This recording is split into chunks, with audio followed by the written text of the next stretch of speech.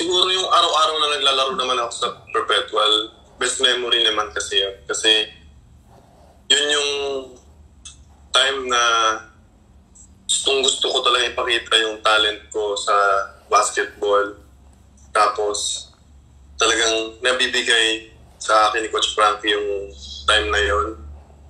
So, araw-araw naman sa laro, parang talagang ina- inikip ko siya sa best memory ko.